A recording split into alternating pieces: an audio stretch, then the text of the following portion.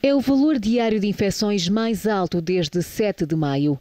A Alemanha reportou 1.045 novos casos nas últimas 24 horas, um número preocupante e que coincide com o início do novo ano letivo em vários Estados federados e com as férias de verão, que atraem mais turistas.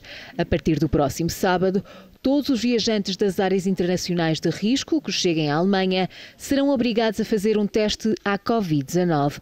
O rastreio será gratuito e é, segundo o governo alemão, uma medida razoável para não comprometer os resultados do país no combate à pandemia.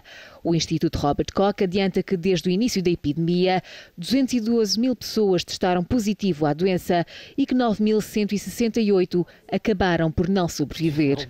A par da Alemanha, também França e Espanha reportam cada vez mais infecções. O governo espanhol anunciou 1.700 novos casos, o maior número registado desde o fim do confinamento. Já a Direção-Geral da Saúde Francesa reportou outros 1.700 novos casos, o registro mais elevado dos últimos dois meses.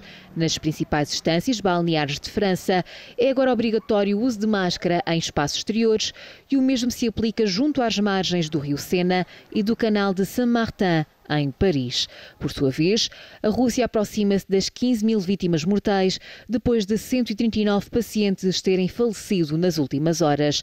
Há também mais 5.204 novos infectados, que elevam para mais de 866 mil o valor global de infecções.